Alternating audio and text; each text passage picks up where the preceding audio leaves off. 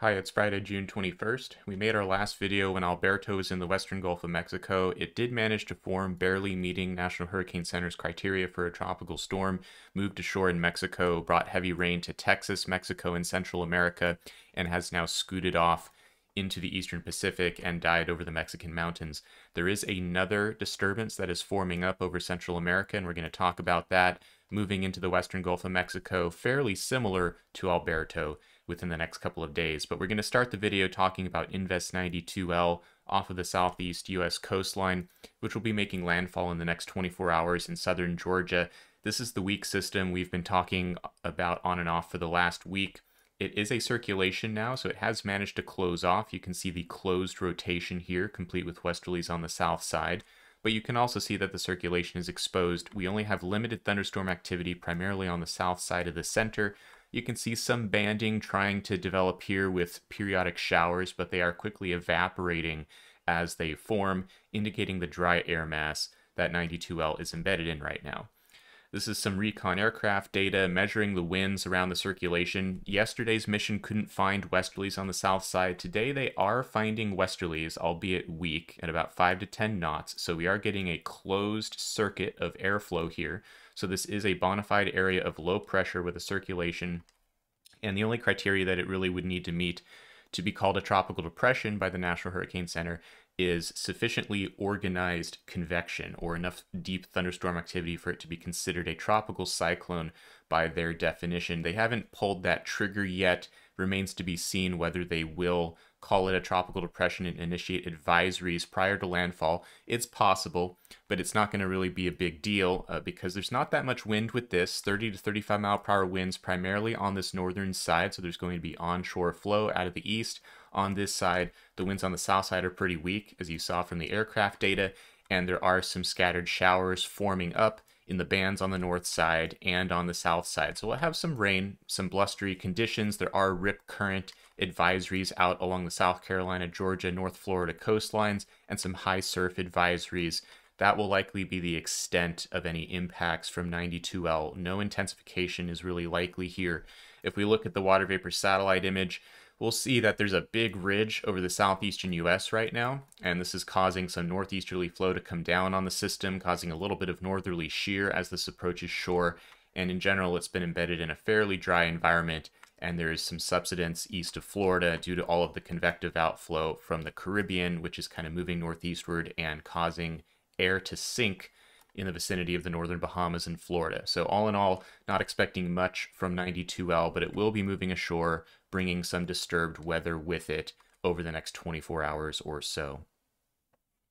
Moving on to the Caribbean and the Gulf of Mexico, Alberto has gone. However, the Central American gyre does remain. A portion of cyclonic momentum has lingered, and so we still have southwesterly flow into Central America, bringing deep moisture and unfortunately more rain to the already soaked Sierra Madre region of Guatemala and El Salvador and southern Mexico, and heavy rains will continue over the next couple of days.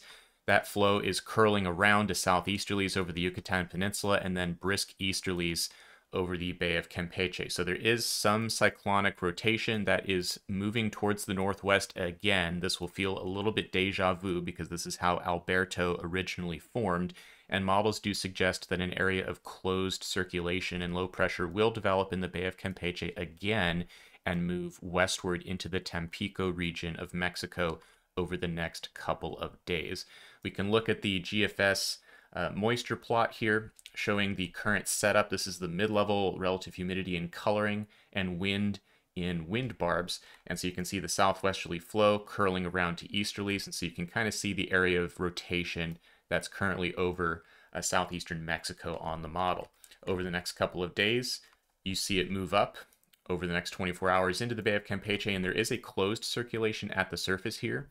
It is a little dislocated from the mid-level circulation, which is uh, farther down toward the south, so it's possible that this will be a little disjointed, a little bit sheared, and uh, models in general don't strengthen the system very much. It moves rather quickly towards the west, and we do see a slightly better organized circulation once it moves toward Tampico during the afternoon and evening on Saturday. However, it really doesn't strengthen a whole lot on the model, and uh, by Sunday morning, or late Saturday night, early Sunday morning, we don't see a lot of intensification over the Gulf of Mexico. There's a couple of reasons for this. Most models agree that the system will not strengthen that much. There's a couple interesting things going on.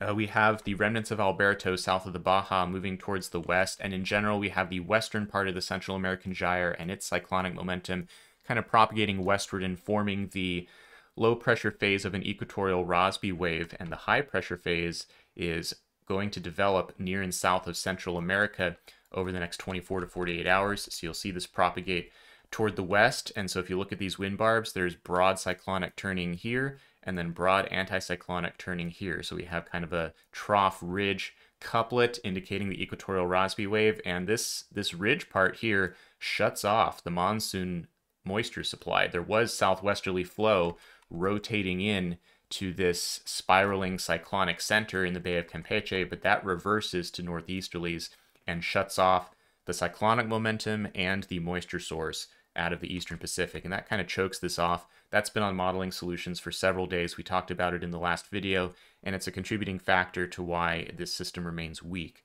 in the Gulf of Mexico. Coupled with that, though, we also have uh, upper level conditions being suboptimal. If we look at Sunday morning here, uh, the system is centered east of Tampico, but there's this ridge over Dallas that is just sitting here, and there's this wave of subsidence coming down. These northeasterlies decelerate over the Gulf, depositing their air aloft over the Bay of Campeche and causing sinking, and also a little bit of wind shear here with this northerly flow kind of pushing the mid level center down toward the south. So in general, these are suboptimal conditions environmentally for significant intensification. And uh, again, most models agree that this will stay weak, and it makes physical sense that it does remain weak. So again, this will be a rainfall story. We'll probably bring continuing heavy rains to Central America, the Yucatan Peninsula, and then near Tampico around the time of landfall. So this is a look at the total accumulated uh, rainfall from the European ensemble over the next three days. You can see the Sierra Madre, uh, area, big rain there, Yucatan Peninsula, and then eastern Mexico also getting another bout of rain. They certainly don't need it after Alberto, so we're hoping that the damage is limited and the flooding is limited from that extra bout of rain over the next few days. As far as current systems go, that's about the extent of it, those two systems there. But if we're looking out in the future for any possible tropical trouble to close out the month of June, there is one little area that we'll just be keeping an eye on for the next few days. There's a, a weak tropical wave over the far eastern Atlantic. We haven't talked about the central and eastern Atlantic that much, but there is a trough axis here, a little kink in the low level flow. This is going to move towards the Caribbean over the next four days. So if you follow this in the model, here it comes and it nears Trinidad and Tobago by Tuesday, Monday night or Tuesday, and then it enters the Caribbean. And the reason I'm bringing that up is because as it enters the Caribbean, it's going to continue uh, through the basin and it's going to encounter fairly favorable upper level conditions. This is the GFS six day forecast, which for the moment would have the tropical wave near Jamaica, and it's underneath this upper level ridge with dual outflow channels here.